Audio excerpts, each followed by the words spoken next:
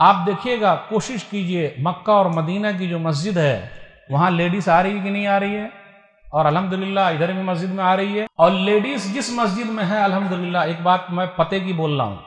एक बात मैं पते की बोल रहा हूँ, लेडीज़ जिस मस्जिद में भी आ रही है, अल्हम्दुलिल्लाह, उस मस्जिद का चंदा भी बहुत होता है। तमाम साहब, सही बात है कि नहीं? सही बात है।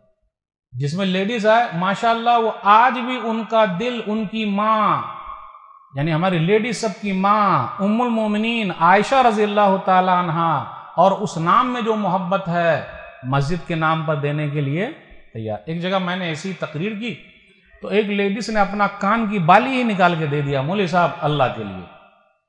अब आप लोग सोच रहे हो कि मोली साहब, आज भी आप निकलवाने के चक्कर में तो ये सब वाक्य नहीं सुना रहे हैं? नहीं भाई, जो निकालेगा अपने फ़ायदे के लिए निकालेगा, नहीं निकालेगा, वो अपना जाने। मोली साहब सिर्फ़ उभार सकते कोशिश कर सकते। ये जो इतना बड़ा बोझ है, जो मुली साहब ने बताया है, अगर हम लोग सब मिल के कोशिश नहीं करेंगे तो ये बोझ खत्म हो सकता?